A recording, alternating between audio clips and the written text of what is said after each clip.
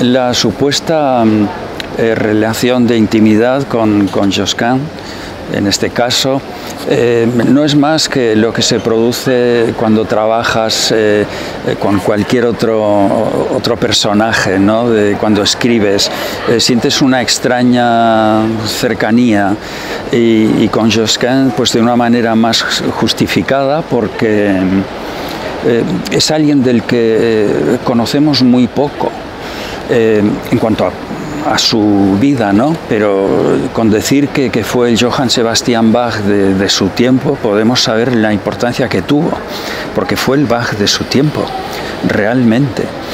Y, pero seguro que su persona era, una, eh, era muy especial, eh, alguien solitario. Eh, apartadizo porque con su trayectoria sabemos dónde estuvo, para quién trabajó y esto sería suficiente en la historia de la música para, para tener muchas referencias. ¿no? En cambio, no, no, sabemos casi nada, casi nada de él, no hay iconografía.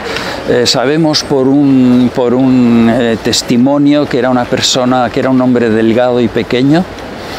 Eh, no sabemos nada más. Y bueno, y esa intimidad que, que, que supone el acercarse, eh, también está esa intimidad que, que, se da porque es un compositor al que vengo escuchando, te diré que desde, pues, desde los 17 o los 18 años, ¿no? Y siempre ha formado parte de, de mi vida, como, pues, como, como, otros músicos, como pintores, autores, autoras. Eh, esto es.